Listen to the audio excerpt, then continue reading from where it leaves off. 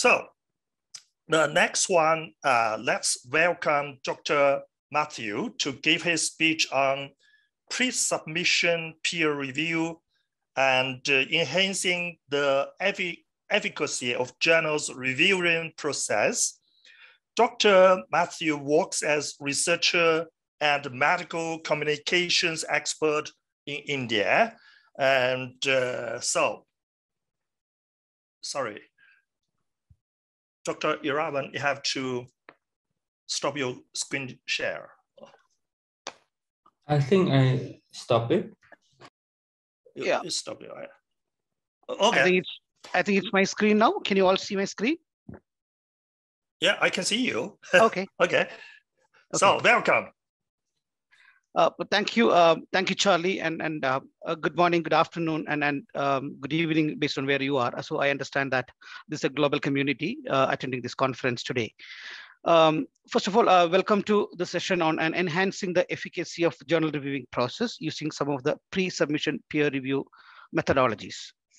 So before I start, uh, a quick um, disclaimer. So this presentation is based on uh, one of the recent manuscripts, which I have co-authored with Habib Ibrahim, and uh, which is being considered for publication in uh, Trends in Scholarly Publishing, uh, which is the official journal of Asian Council of Science Editors. So um, the objective of uh, this presentation is to give two proposals to improve two proposals based on pre-submission peer reviews to improve uh, the efficacy of journals uh, reviewing process. So this is a quick agenda. So we will uh, briefly touch upon what peer review is, and then we will see what are the different types of conventional peer reviews, and we will set the context by understanding what are the major limitations of the conventional peer reviews. Sorry, so then, sorry, sorry, sorry, sorry, very sorry. We, we can't see your screen. Can you oh. share your screen? Yes, so I am already sharing it. So uh, let me unshare and say, share it again.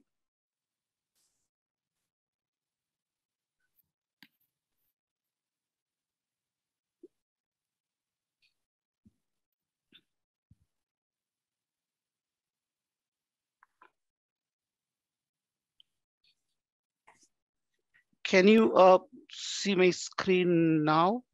Uh, just a moment. No, I can't see it. Uh, just a moment, I'm just opening it.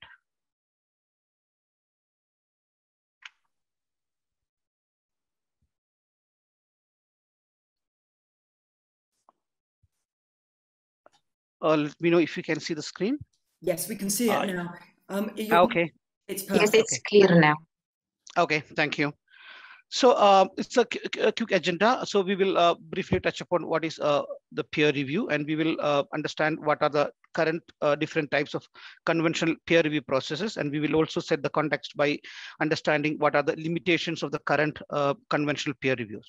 And then we will also set the concepts, the concept of the pre-submission peer reviews. Under that, we will briefly explain two pre-submission peer reviews. One is professional pre-submission peer review and then preprints.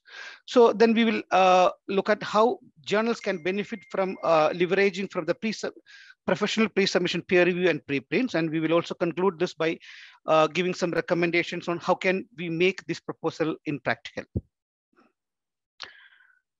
So uh, we all heard about peer review in, in the morning. So uh, so peer review, I, am sure that we all are very uh, versed with what is a peer review process. A peer review is nothing but, in, in simple words, a peer review is nothing but the, the critical scrutiny of a research paper, which is submitted to a journal uh, by a subject matter expert, wherein which the peer review basically refines the manuscript. It enhances the objectivity, reproducibility, reliability, and scientific integrity of the, the research paper. It also identifies the weakness and the limitations of the paper. And, and, and we all know that not every paper is published. So peer review is one of the backbone of the scholarly publication, scholarly publishing.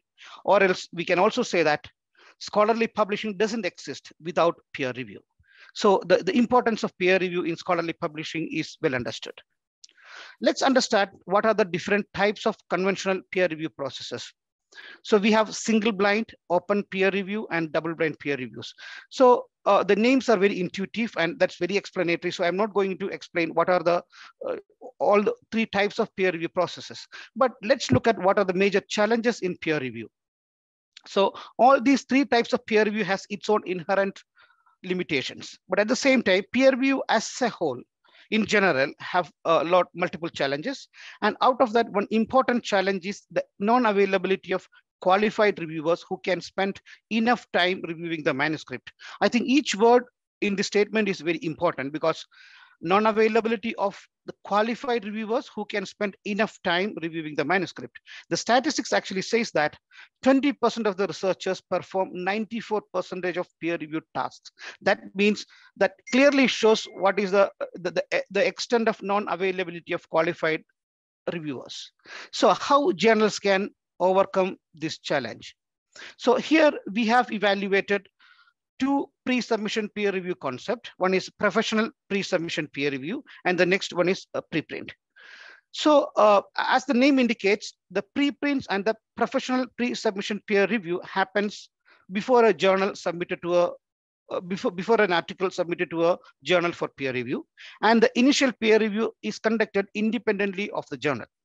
And, and we assume that some kind of modification to these processes may help reduce the burden of journal journal's peer review system. Let's understand in detail what is professional pre-submission peer review. I'm not sure how many of you are well versed with the professional pre-submission peer review because this has not been practiced very widely across the globe. But I have seen many researchers from the Asia Pacific, especially from China and Korea, are utilizing this professional pre-submission peer review. Usually the entry level or, or the senior researchers who are busy with research tasks and they are not able to or they do not usually they once they get saturated with a paper they may not spot minor data or language errors so they usually utilize this peer review process so as a process this is a service actually offered by a writing agency or, or editing agencies. So in this active peer review process, the agency sends a submission ready manuscript to a subject matter experts and pay them for their time and efforts. So usually this peer review works with the help of a checklist. And usually this checklist uh, is uh, actually mimic the, the usual peer review checklist of a journal or sometimes much more than that. So uh, during this process, they usually check the compliance to the journal requirements, the novelty and significance of the study, the presentation of the results, suitability of study design, methodology, statistics, and the logical flow, how the paper is being written. But at the same time, as we have seen, uh, this is being performed by uh, uh this has been uh, actively, I mean, performed by a writing agency. So most of the time, this is the peer review is not performed by a subject matter expert. So usually the reviewer will be a scholarly publishing expert, which have who has a much broader experience than the subject specialization. So this lack the depth of scientific analysis for the review. And also we have seen that this is a paid service. So not every author will be able to manage this process. And you, unlike uh, the journal uh, peer review process, once the peer review comments are given to the author, the author will not revise the paper and return it back to the reviewer to ensure that whether all comments have been addressed. Uh, let's look at the second option, preprints. So uh, I know that uh, there is a lot of uh, uh, noise about preprints in the recent couple of years. I know that Dr. Dick Rennie is also going to talk about preprints in the in the in in this session towards the end of this session. So as we all know that a preprint is a full draft research paper that is shared publicly through a preprint server before it has been peer reviewed. So as per the process, what happens in preprints is the author submits the manuscript to the preprint server and the paper is not peer reviewed, but this is open for peer review for the readers, those who access the preprint servers. And usually this work like a discovery claim before presenting it to, for scrutiny through, through a journal and it actually undergoes informal peer review. There are multiple advantages of using preprints uh, for the for peer reviewing a document or getting it published uh, through a preprint server. It actually the, the process is quite fast and improves the visibility of the research. And the process of peer review, the comments are transparent and open correspondence. And it also prevents or it also uh, work to overcome the inherent delays of journal peer review process and also, unlike some journals, so we can even propose, uh, I mean, uh, publish or, we can you can make available some of the negative findings of our research and and the, the author need not have to worry about formatting the document to a specific uh, style and and uh, most of the preprints are now providing um, i mean digital object identifier so uh, this is easy to be cited and and at, sometimes authors use this when a paper is being rejected regularly from other journals and at least if they want to make this the uh, the, research available to the public, then they can go ahead and publish it always in the preprints. There are multiple uh, preprint servers which are available. Uh, some of them I have listed here, bioRxiv, medRxiv, uh, PeerJ, Authorea, etc. are some of the examples of preprints. So what? So how can journals benefit from this pre-submission peer reviews? First and foremost, they can accommodate the professional pre-submission peer review that we have seen in the first uh, uh, instance, uh, the journals can try to accommodate them in a different way so that their limitations can be uh, curtailed.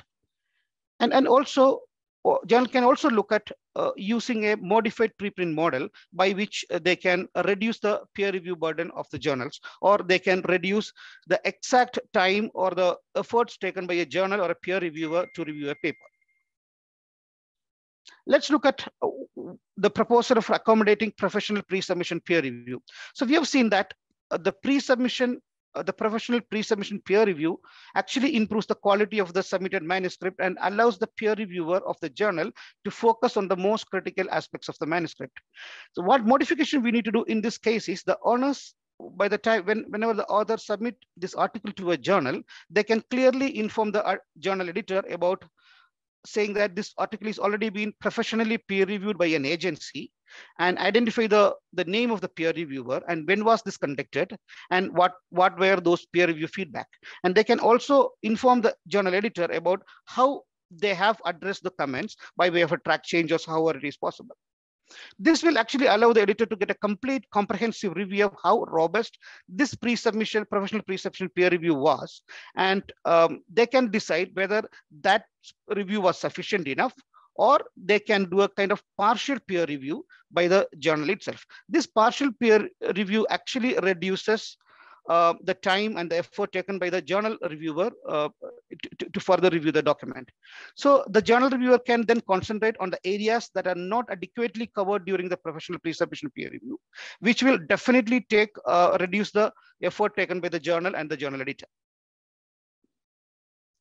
Let's look at the next uh, proposal, that is a modified preprints. So here we, we actually propose an amalgamation of the preprint journal system.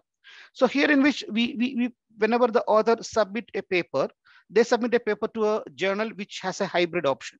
A hybrid option means the journal has uh, the regular peer review process option, as well as they also have a preprint option. So when the author submit uh, the articles to a hybrid journal, and if there is a availability of appropriate peer reviewer, this paper will undergo regular peer review process and the paper will be published or will be rejected as usual. However, in case journal do not have immediate availability of appropriate peer reviewer, in that case, the journal give an option to that author saying that, do you want to use a preprint option, which is completely managed by the journal. So the difference here when compared to the regular preprint uh, the author submitting the preprint. And here is the peer, the, the preprint process is completely managed in this case by the journal.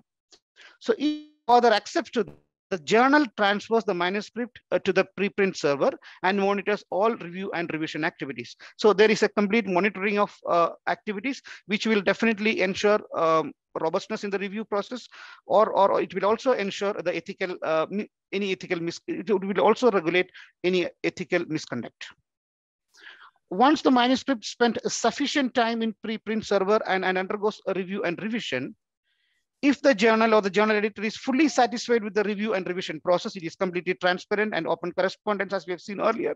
So they can take a decision on rejecting the paper or accepting it for publication.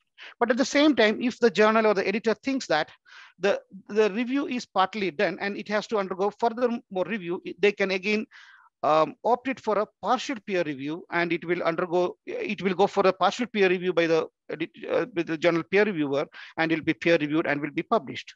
So these are the two proposals that we uh, give to the journal systems to avoid further uh, burdening of the journal peer review systems. So, so to conclude, uh, sorry, yeah. Uh, you have two minutes. Yes, I am concluding it. Yeah. Okay. So, um, so uh, as we have seen, so improving the efficiency of peer review is important to safeguard the integrity and timelines of published research. Same time, we need to imp improvising the current peer review process could be one strategy. We also should take a risk-based approach uh, to adapt to improve the conventional peer review processes. So inculcating positive aspects of both professional pre-submission peer review that we have seen and the preprints and modifying it to suit journal requirements is definitely a viable option. But at the same time, this is not easy to implement. We need to get wider engagement.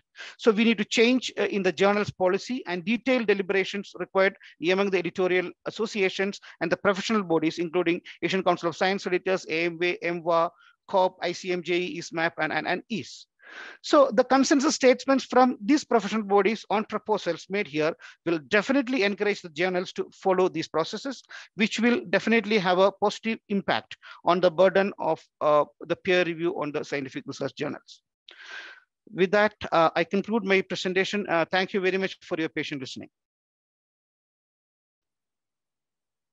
So uh, thank you so much, uh, Dr. Mathew um, your, your presentation mentioned quite a lot of uh, disadvantage and dis, uh, advantage and disadvantages of different types of uh, peer review.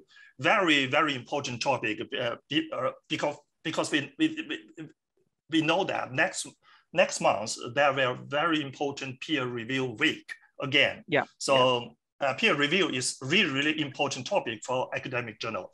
Thank you very much, Dr. Mathew. Thank you. I'll, I'll stop sharing. Okay, so uh, next, I'm very honored to to hand over to Pippa Smart to hosting to host uh, the other three uh, speakers, and uh, Dr. Now, Dr. Pippa Smart worked as well-known consultant at PSP Consulting, Oxford, UK. Uh, that, um, I know Pippa Smart for many years. Thank you so much.